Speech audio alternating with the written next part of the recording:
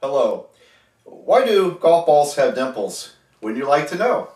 Well, I'm going to explain it to you. But uh, first, a little a little bit of history of the golf ball.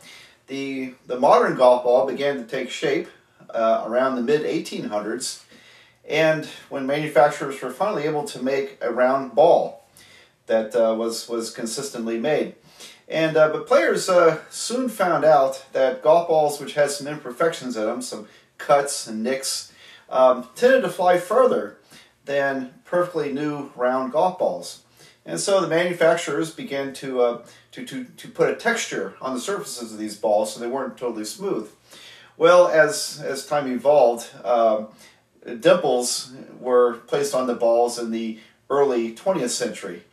And um, they have evolved since then. And uh, there's usually somewhere around 300 to 450 dimples on, on a golf ball, but it depends upon the manufacturer. And, uh, and also the sizes and shapes of the dimples uh, varies quite a bit. Um, it really is not known what the best configuration is for a golf ball dimples. And um, the mathematics of it is, is really quite quite complicated and, and technical, would require a lot of uh, computing power to, uh, to, to even think about designing a golf ball mathematically. All right, well, anyway, here is why golf balls have dimples. When you hit a golf ball, if you hit it right, you create a backspin. So let me, uh, let me put some dimples on my, my ball here. And let's suppose this ball is struck so that it goes in this direction. Now the club face comes down and hits it like so, and by design is supposed to cause a backspin. So if the ball goes takes off in this direction, the backspin would be in a clockwise direction, this way.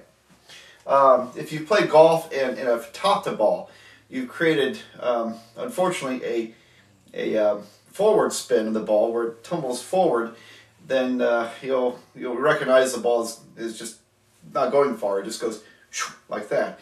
Um, very unfortunate shot, but when you hit a golf ball right, it creates a, a backspin. now, what's the advantage of the backspin? Well, the, the ball is going this way and it's running into air. And so imagine that it's running into the air. And what is the direction of the air? Well, the air has to flow around the ball. And uh, so it gets pushed around the ball like so on either side. And what's happening here is these little pockets, um, dimples, um, have little pockets of air and they sweep air around the ball.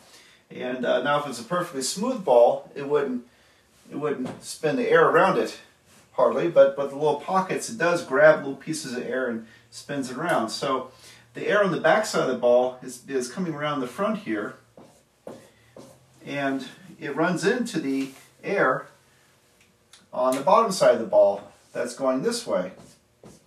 So you have onrushing air and this air collides on the bottom. On the top, however, this air is going the same direction as the air being pulled around the top of the ball. So around the front face of the ball, these little pockets, these little dimples are grabbing air and shoving it this way. And so the air from the ball is flowing in the same direction as the air that the ball is colliding with. So what happens?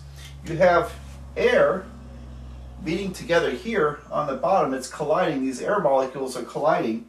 And it increases the air pressure down below. So we have a, a higher pressure on the bottom of the ball, but on the top of the ball, the air flows over it very quickly. And the air is not bunching up, it's not colliding, it's actually zipping right over the ball. And so there are fewer air molecules on top. That creates a, a low pressure situation. And so you can see what happens. Air pressure is pushing the ball upward. And so there's more pressure down below. It causes the ball literally to rise. And that's why when you hit a hit the ball, if you hit it well, it tends to to take off like this before it starts to come down. And so this this initial rise is due to air pressure. That's the aerodynamics. It's the same principle that, uh, in essence, that causes airplanes to, to have an airfoil effect so the airplanes rise or, or birds can fly or, uh, or sailboats can sail. It's all about air pressure. And uh, air pressure is um, can be very forceful. so uh, think about golf uh, baseballs. Baseballs have stitching. Without the stitching, if a, if a baseball was smooth, then pitchers couldn't throw curveballs or sliders or, or knuckleballs. And so um, it's all about air pressure. And that's why golf balls have dimples.